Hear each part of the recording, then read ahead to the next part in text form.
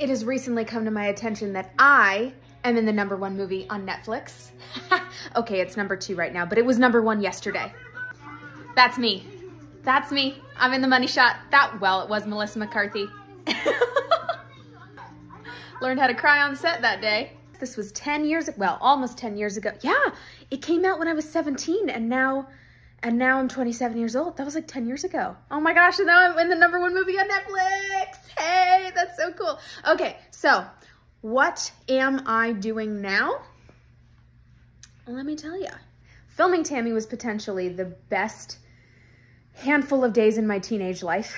And uh, afterwards, I was expecting to become a big movie star, and that is not how it rolled out. I found out my acting coach was a narcissist, and I left acting altogether, not completely because of him, but he was part of the reason. I went to college and focused on equine therapy, so helping people with their mental health through horses. I got out of college, moved back to North Carolina, got married to my college sweetheart, and miraculously found a full-time job exactly in the field of horses. Let me tell you, that does not happen very often. I quit my job this year when I got on TikTok and started telling the world that not only do I talk to animals, but I have a gift to see in the spirit. And since I was 12 years old, God's been letting me visit heaven. Oh, and by the way, Jesus is the real deal.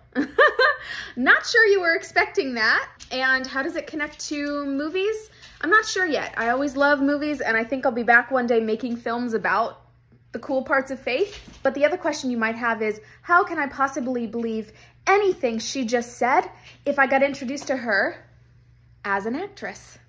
And the answer to that question is, I don't know. I don't know. All I can say is my, my mom has been filming me and my experiences, talking about my experiences and what I've been seeing since I was four years old, long before I thought about doing anything in acting.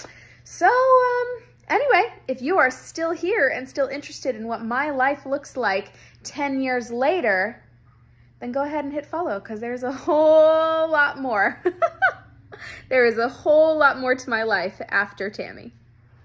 My name is Dakota Lee, and this is the very first posting of the Heaven blog. I'm extremely excited about this, and right now this one is just to tell you what the Heaven blog is about and what you can expect.